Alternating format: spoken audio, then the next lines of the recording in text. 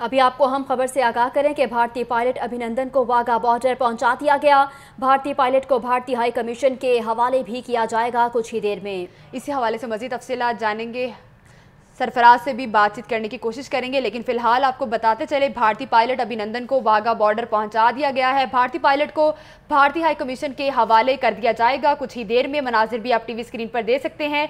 पाकिस्तान की जानब से गिरफ़्तार भारतीय पायलट अभिनंदन को आज रिहा किया जाएगा। दफ्तर खारजा के मुताबिक गिरफ़्तार भारतीय पायलट को आज वाघा बॉर्डर के रास्ते भारत के हवाले कर दिया जाएगा। सफारती जराये के मुताबिक दफ्तर खारजा ने पायलट हवालगी से मुतालिक बाबा तौर पर मतला कर दिया है। आज भारतीय पायलट को भारत रवाना कर दिया जाएगा। वाघा बॉर्डर के रास्ते ऐसे में सिक्योरिटी के भी सख्त इंतज़ाम किए गए हैं और दस्तावेजाती काम भी मुकम्मल कर दिया गया है। भारतीय पायलट को कुछ ही देर में वाघा बॉर्डर के रास्ते भारत पहुँचा दिया जाएगा। ये बराह रास्त मनाजिर हैं वाघा बॉर्डर के, जो टेलीविज़न स्क्रीन पर भी देखे जा सकते हैं। सख्त सिक्योरिटी हसार में भारतीय पायलट, जिसका नाम अभिनंदन था, उसे वाघा बॉर्डर पहुँचा दिया गया है। आपको आगाह करते चलें कि कुछ ही देर में भारतीय पायलट को भारतीय हाई कमीशन के हवाले भी किया जाएगा। इसी पर बात करेंगे हमारे नुमाइंदे राना मोहम्मद अली हमारे साथ मौजूद हैं।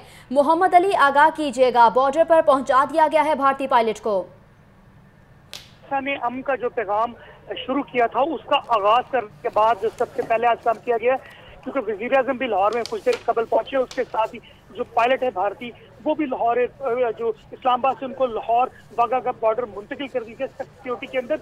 अभी कुछ देर कबल ये सिक्योरिटी के अंदर गाड़ी के अंदर उनको लाया गया, इसके साथ उनके साथ बुलेट गाड़ियाँ थी, जबकि मोबाइल जैमर्स भी उनके साथ थे।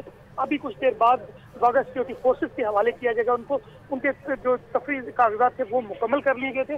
भारतीय कमीशन के भी कुछ एहलकार यहाँ पे मौजूद हैं, जो उनको रिसीव करने के बाद भारतीय हुकूमत के हवाले करेंगे।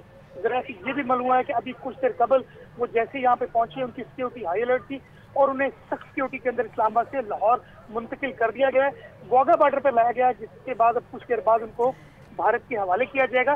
जो अभी जरा का ये भी कहना है कि जो भारतीय पायलट थे, वो बहुत खुश दिखाई दे रहे थे अपने वतन वापसी के हवाले से जो अहम फैसला पाकिस्तानी हुकूमत की जानब से किया गया, उसका खैर मकदम वो कर रहे थे, उन्होंने बहुत शुक्रिया भी अदा किया। पाकिस्तान एयरफोर्स और खासतौर पर जो पाकिस्तान के जो है नुमाइंदे उनके साथ मौजूद थे, उनका भी उन्होंने शुक्रिया अदा किया। अभी कुछ देर बाद भारतीय पायलट जो थे, वो वाघा के रास्ते भारत के हदूद में दाखिल हो जाएँगे। जिसके बाद उनके जो अगला सफ़र है वो बाहर था क्योंकि ये सताईस तारीख को उन्होंने खिलाफ वर्जी की थी पाकिस्तानी बॉर्डर की और ये यहाँ पे जो उनका प्लेन क्रैश हुआ, उसके बाद इनको अरेस्ट किया गया था।